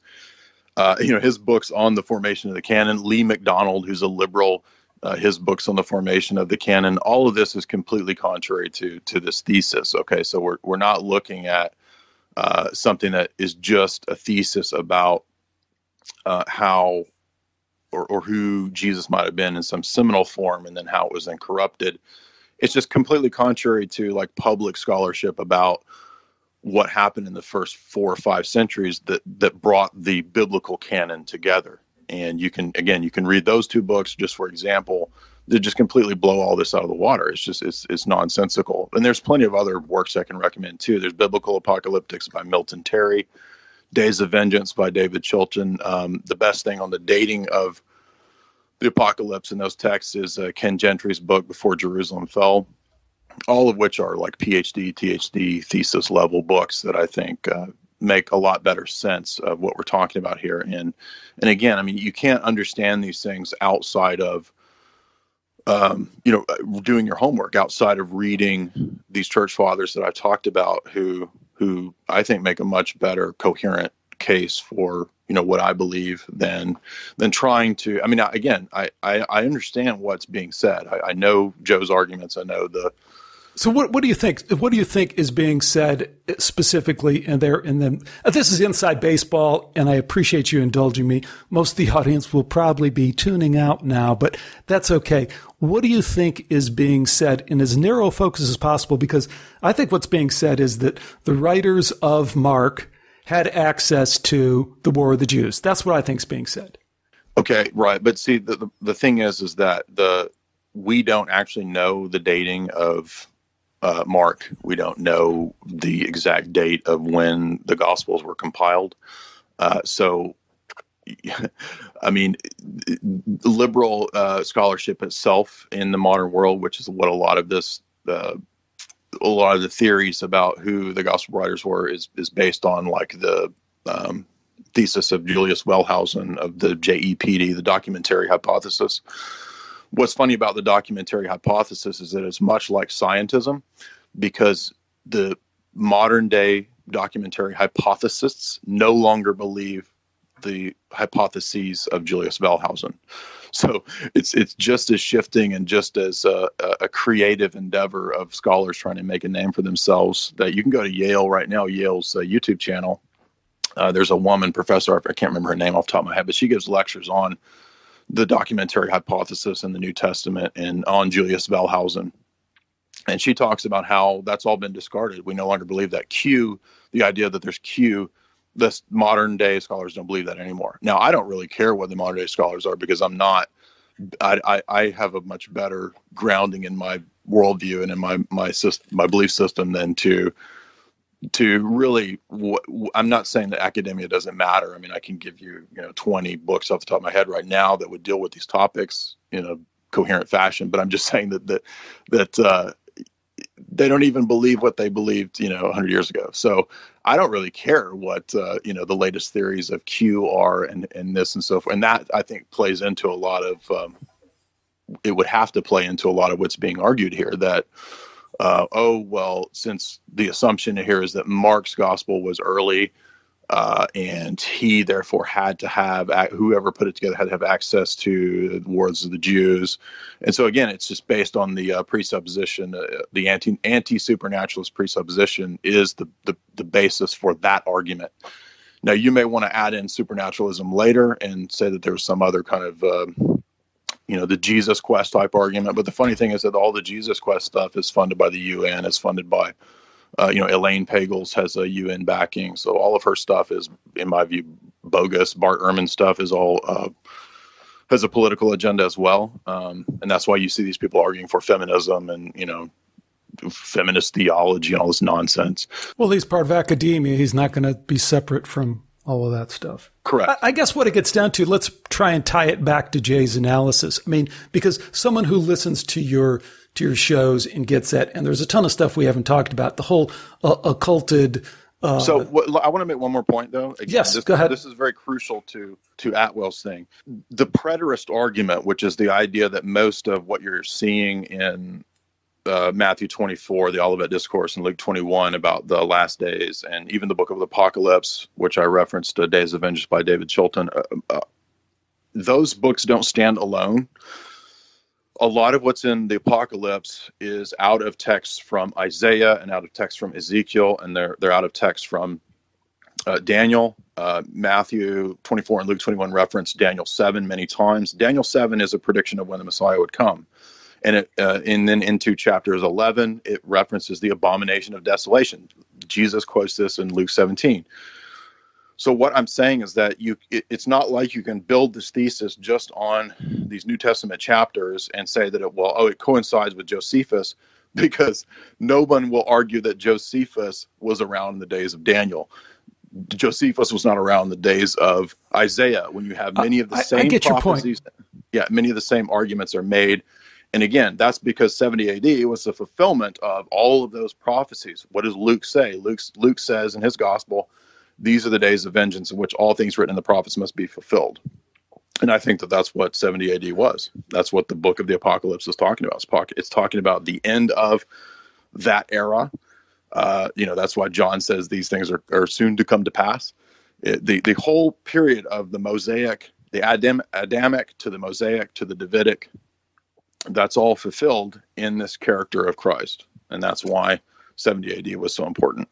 I, I, get that, and and that's the the Christian explanation for it, and that's not being derogatory, but it's that you know again, the parallels are pretty undeniable. It's a, you can line them up point by point, and it appears to be following the exact sequence of Josephus.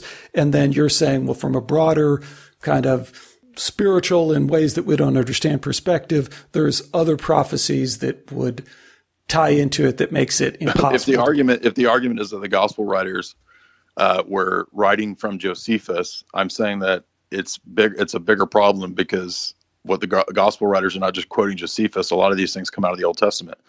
Even Josephus, even Josephus says that the uh, destruction of Jerusalem seems in some way to kind of be a covenantal curse upon Israel. Now, he obviously he doesn't believe in Jesus. He doesn't think that it was for the rejection of the Messiah. What I'm saying is that if you read the book of Deuteronomy, well, he thinks Titus is the Messiah. I mean, that's what Josephus believes. I mean, that's his whole that's his whole conversion, right? He's in the cave and he tells everybody, okay, we all have to commit suicide. And then he has incredible revelation, goes, Hey, wait a minute. We were all wrong. Our whole Judaic tradition had it wrong. The Messiah is here. It's Caesar. Caesar is the Messiah. Let's go. And that's what he, that's what he, he lives and writes for the rest of his life. So, I mean, that's Joseph. Again, the, the, a real quick way to dispel this is that there, there are 300 years of persecution of Christianity throughout the Roman Empire. Uh, so the idea that uh, that no, this but this is, is what Joseph. I mean, that's that's not controversial. This is what Josephus writes. All, I don't I don't recall Josephus saying that. I mean, that's probably a theory about the Qumran community and uh, the no, Dead Sea Scrolls. No, I mean that's well. Um, I'm pretty sure that's what Josephus writes in his twenty thousand. Okay, well, I mean, I wrote a paper so about this, a grad level paper ten years ago, uh, dealing with wars of the Jews and Matthew 24 and Luke 21. So I'm not trying to be arrogant, but I'm just saying.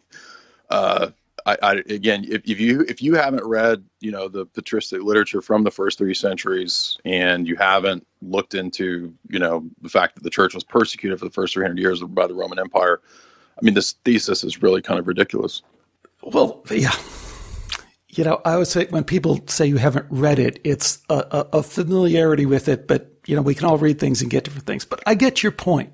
Here, here's the way I think it ties back to the question that really sent this off is that I, I think what we're struggling with in terms of trying to understand what's going on, which is in a very broad sense, what you're trying to do on Jay's analysis, what you're trying to do with esoteric Hollywood and saying, is there some uh, occulted, um, religious or occulted spirituality, be it good or bad, that lies behind all this. I, I, think it's important to know what someone's starting point is, you know, and, and how that starting point has been developed. And I think you're saying over and over again that you're very comfortable with your Orthodox Christian, uh, historical Jesus being your map of that extended sure. consciousness realm. And I'm saying, gee, I keep stumbling into science and well as well as other evidence that calls that into question. I'll leave you with one more, and then we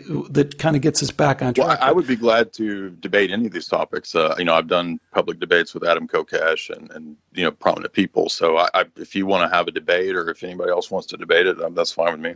I, I, hey man, I think that's great, and I th- well, I think that's kind of what we're doing here. I mean, we're fleshing out these issues. I agree with so much. I mean, I, I broadly okay, but, agree. But, I mean, look, look. I, want to stress that it, this whole thing hinges on. I, am assuming, you know, the first three centuries. Okay, uh, I mean, maybe there's some other argument I'm not aware of, but again, all you have to do is read these church fathers from the first three centuries who are placed throughout the Roman Empire, uh, who are persecuted, and they they all write and teach the same thing that we teach. And I mean, I think that really undercuts the absurdity of this whole view.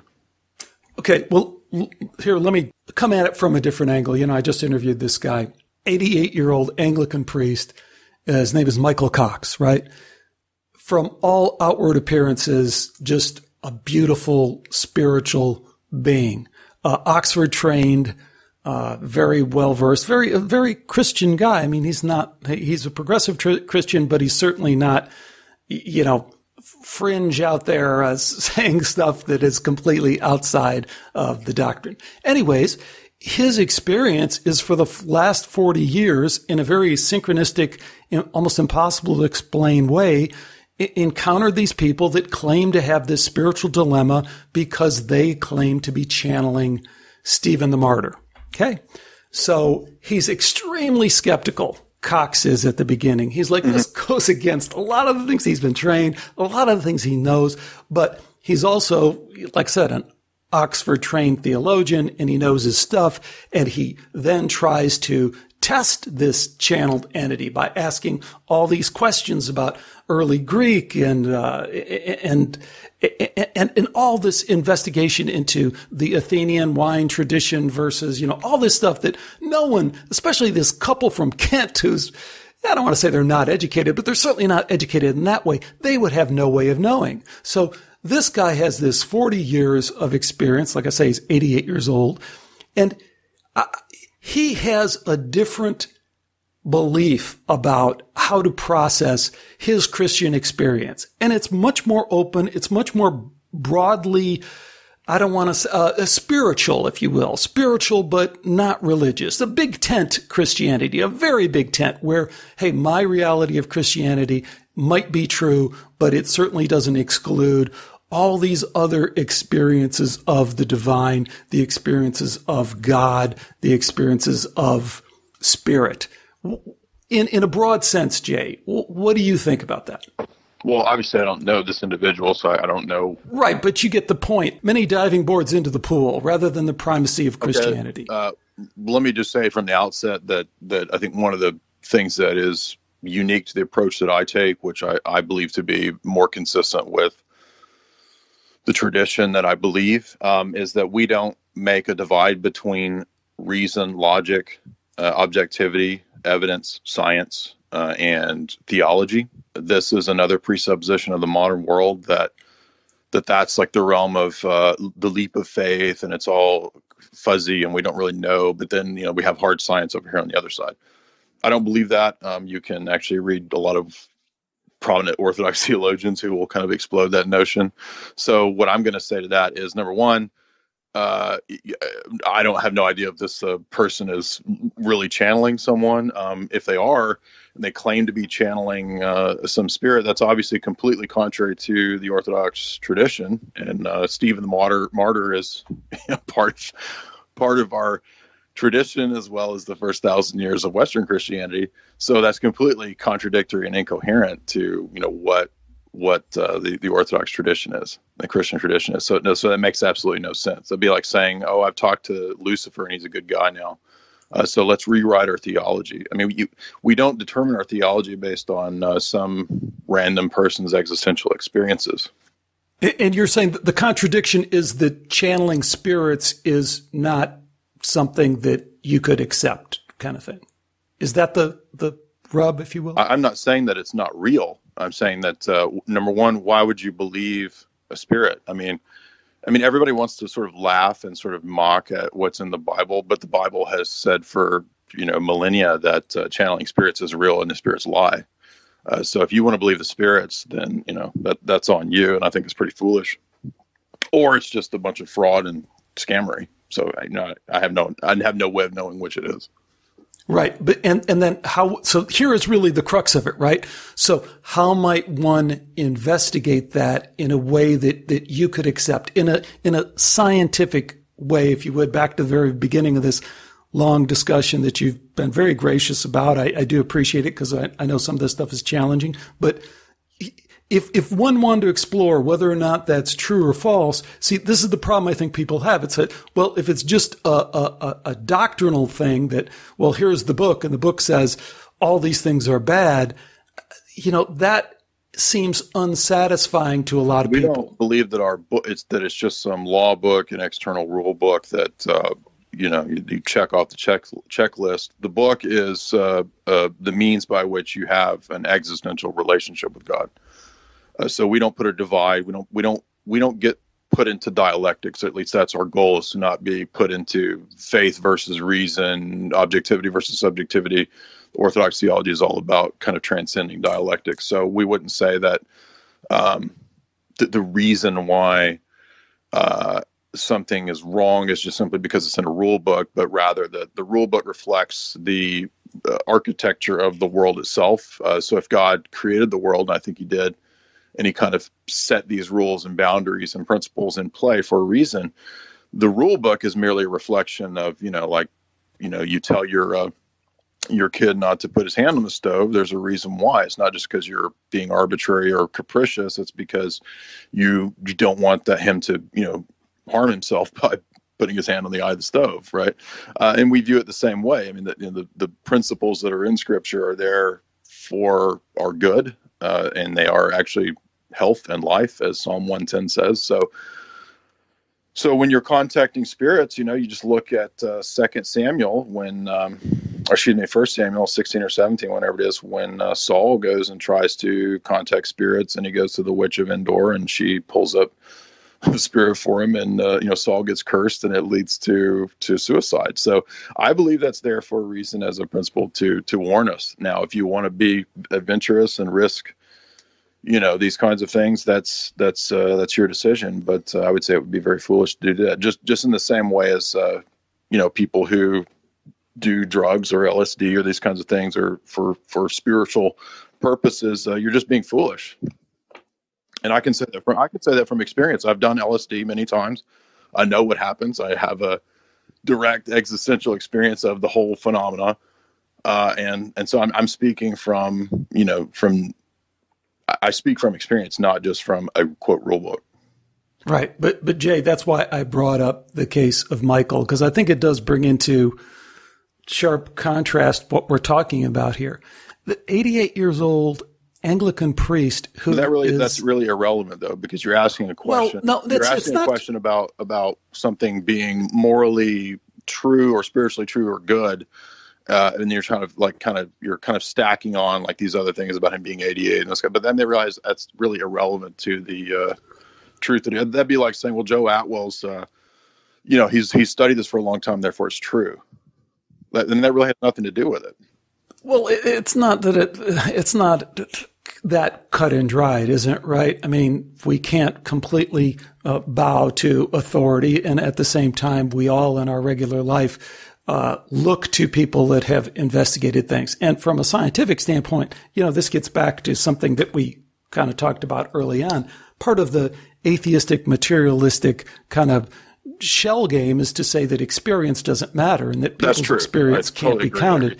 And, and, and, what I think, what I think we can do, and again, the other thing that they'll, they'll do is something like, uh, Michael's experiences, they'll say, well, that's anecdotal. You know, that's just a one off. And of course, that's nonsense as well, because if we collect enough of these anecdotal accounts, they no longer become anecdotal. They become a body of evidence that can be analyzed with all the scientific tools. So True. The, yeah.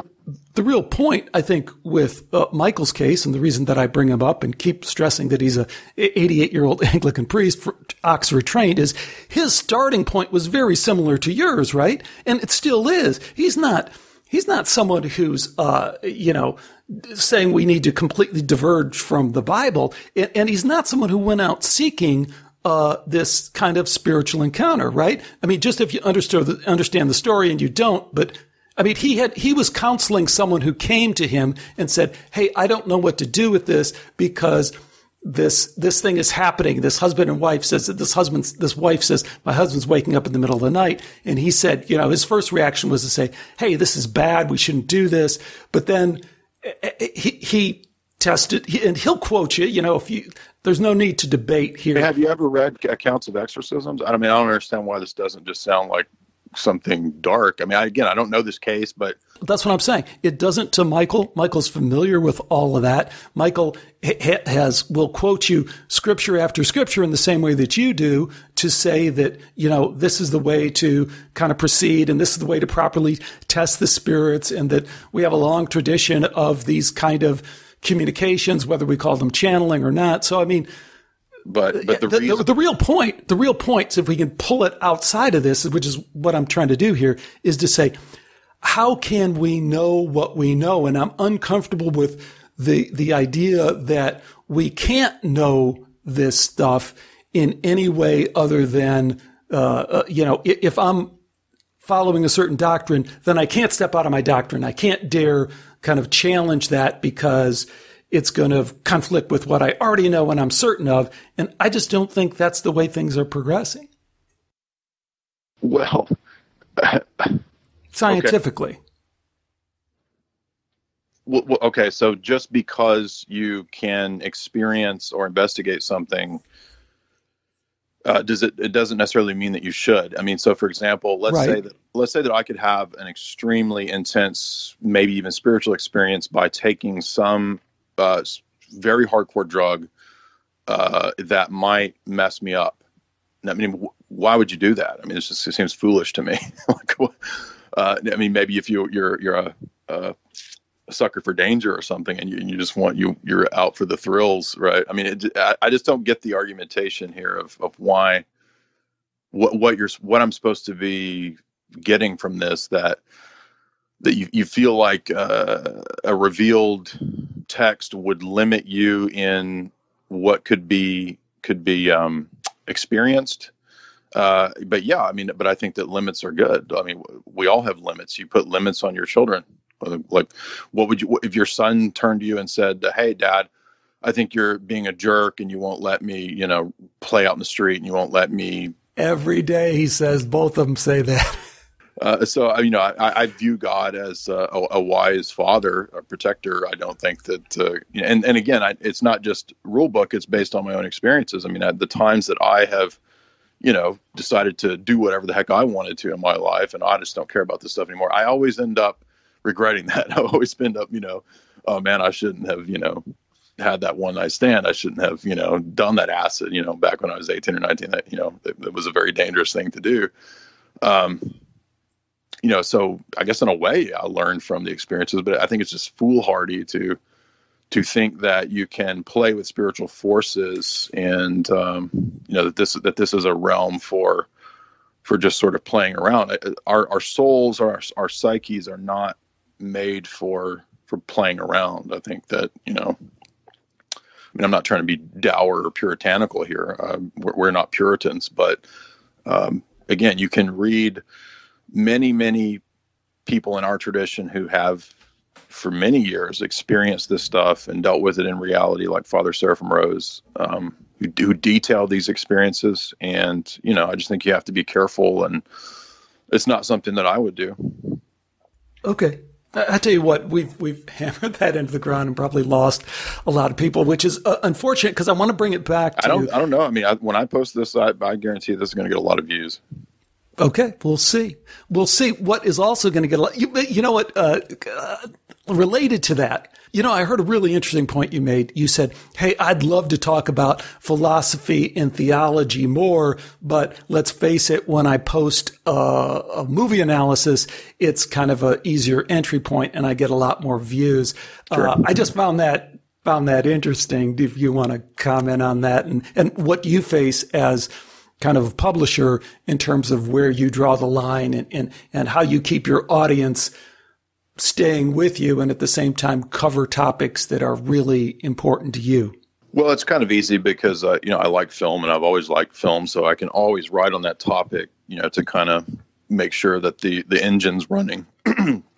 uh, but most of the the essays and articles at my site are not movies. the majority of them are, are philosophy and theology and geopolitics and some satire and goofy stuff. Uh, and I think there's only about 120 or 30 film reviews. So, um, but the film review stuff has really has really taken off and has a great audience. And you were telling me at the beginning that it's even spawned a TV series that you're involved with, right? Right. Yeah. I mean, it, that's what led to the book, and then that's what led to you know the TV show. So you're right about that. I mean, it, it, it definitely is the, the like I said, it's the engine of the website, but I don't really have a plan the way I do. I just kind of go with what I'm into, what I feel like writing about, what's uh, maybe what's trending, what movies are coming out. You know, like Aliens coming out, and so I've been writing and talking about uh, Ridley Scott stuff lately. Um, but yeah, so the TV show will be uh, me and Jay Weidner, who's kind of known for his uh, Kubrick documentaries, and uh, we got together and basically put together a um, I think we're going to do 17 episodes for the first season, which is covering a lot, not everything in my book, but some of the stuff that's in my book. So we're going to be dealing with uh, Blade Runner, the Alien series, X Files, Eyes Wide Shut, 2001: Space Odyssey, a lot of that kind of stuff for the first 17 episodes, and then uh, if that does well, we'll um, they'll order up another 22 episodes, and this will this will be on uh, the Gaia network, which is streaming, and it's also on uh, Apple TV, Roku, Amazon Prime, and I think on some uh, satellite and cable networks too. You know, and you were telling me high production value, kind of a Siskel and Ebert thing. Mm-hmm. Do, do, you have a lot of clips and stuff like that that really? We do, yeah. That that took me about a month to uh, get all the clips together for the first season, and it was a lot of work because you have to you know, kind of get everything passed through lawyers and you have to tell them what you're going to say. It's exciting. I can't wait to watch it. What is the release date for that? Is that? Uh, well, I mean, we're just in production now, and so it'll probably be in the post production process for a few months. So it'll probably, I don't know, three three months from now, maybe. Um, you know, if you if you follow my work, you know, obviously I'll I'll be promoting it pretty heavily, so you'll know.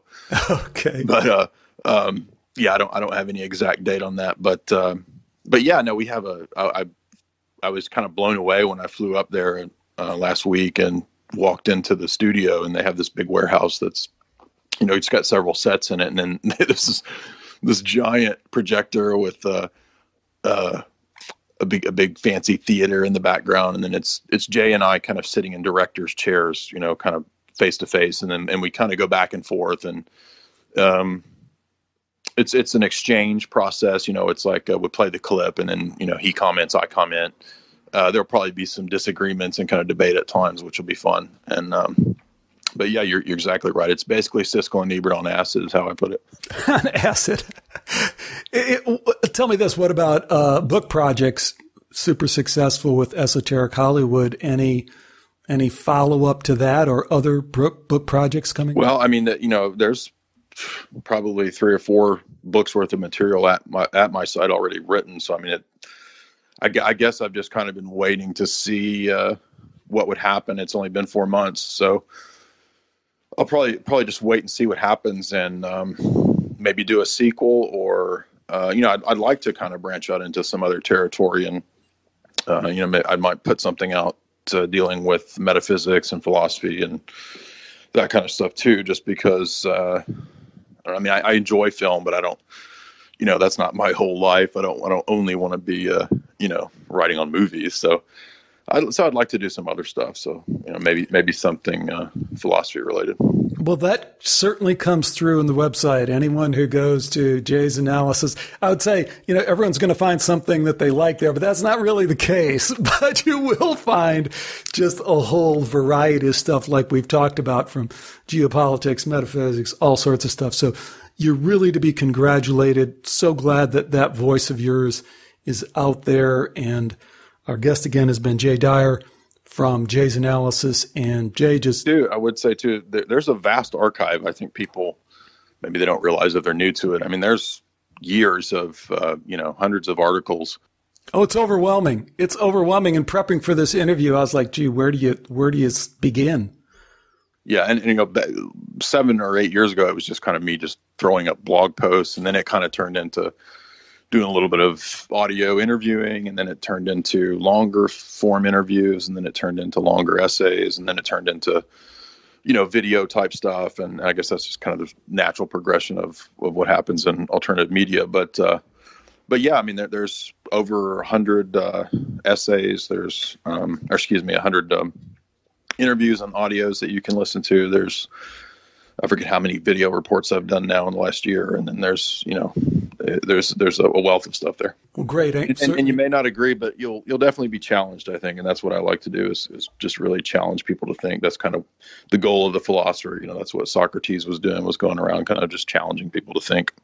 Absolutely, absolutely. As as is on this show, we kind of have the skeptikos principle, question everything. Mm-hmm. In the Hindu tradition, it's neti, neti, neti, not this, not this, not this. Uh, in a way, you're engaging in a similar kind of uh, kind of broad-minded look at a lot of things. Again, great work, and thanks so much for joining me. All right, and if you would just get the book from me. okay, yes, again for folks, and a signed signed copy can't beat Correct. that. Yeah, That's a pretty cool copy. deal. Thanks again to Jay Dyer for joining me today on Skeptiko. I guess the one question I tee up from this interview is the one that I teed up in the opening clip. Are some atheists secretly peddling an occulted, watered down satanic or Luciferian theology? Is that in some respects their endgame?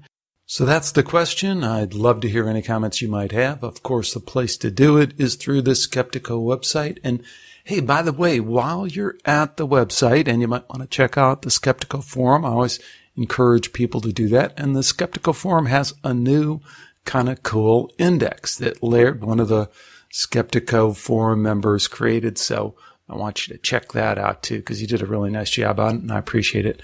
There's a link in the show notes to the index that Laird created. As I mentioned previously, I do have a couple of interesting follow ups, I think, to this interview. They'll be coming out in the near future, and I have a number of other interesting shows as well. I do hope you stay with me for all of that. Until next time, take care and bye for now.